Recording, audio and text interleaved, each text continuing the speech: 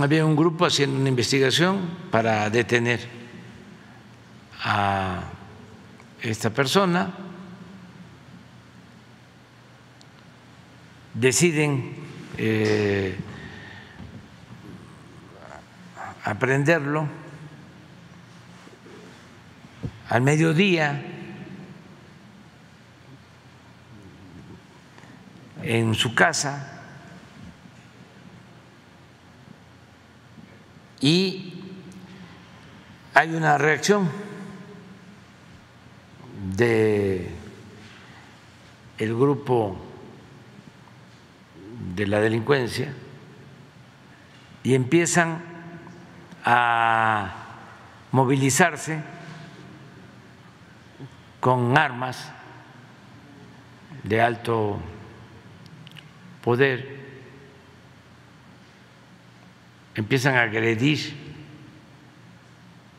a unidades habitacionales de militares, secuestran a militares, eh, se colocan en lugares estratégicos en Culiacán, interviene eh, el ejército y hay respuesta, incluso le pega a un helicóptero.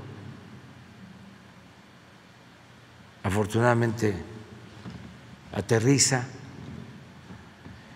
y se pone una situación muy delicada en donde iba a haber una confrontación en plena ciudad que iba posiblemente a causar la muerte de cientos de personas.